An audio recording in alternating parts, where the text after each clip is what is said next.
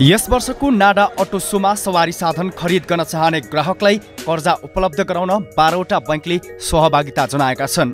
बैङ्कहरूले auto सोमा अवलोकनकर्ताको नाम टिपेर तिन महिनाभित्र गाडी किन्नेलाई विशेष अफर समेत दिने बताएका छन्। कर्जा प्रवाह गर्नेमा एघारवटा वाणिज्य बैङ्क र एउटा विकास बैङ्क रहेको छ। नेपाल राष्ट्र बैङ्कले तोकेको सीमा अनुसार बैङ्कहरूले विद्युतीय सवारी साधनमा अस्सी प्रतिशत र कम्बसन इन्जिनयुक्त गाडीमा पच्चिस प्रतिशतसम्म कर्जा प्रवाह गर्ने गरेका छन्।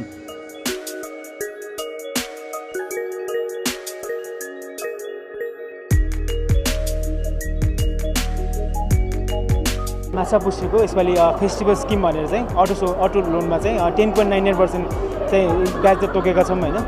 जुन चाहिँ एक वर्षको लागि चाहिँ फिक्स नै हुन्छ। प्लस त्योभन्दा अर्को सहुलियत भनेर चाहिँ हाम्रो लोन चाहिँ दस पर्सेन्ट चाहिँ दिनु पाउनुहुन्छ कि उहाँहरूले।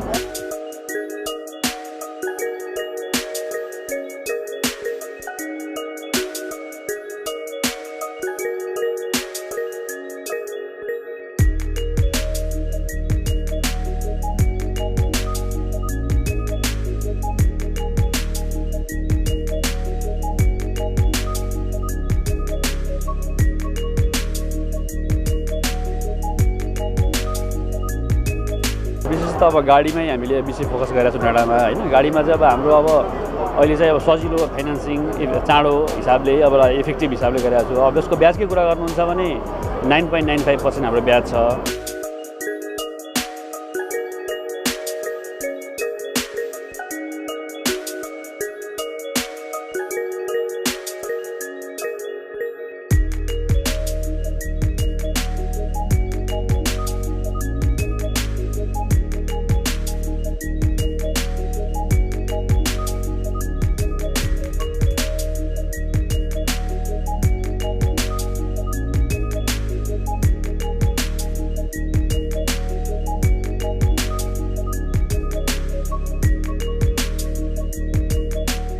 यस वर्षको नाडा अटो सोमा विभिन्न बैङ्क तथा वित्तीय संस्थाहरूले पनि सहभागिता जनाएका छन्। नाडा अटो सोमा उपस्थित भएर गाडी खरिद गर्ने ग्राहकहरूका लागि यहीँबाट कर्जा प्रवाह गर्नका लागि यी बैङ्क तथा वित्तीय संस्थाहरूले आफ्ना स्टलहरू राखेका छन्।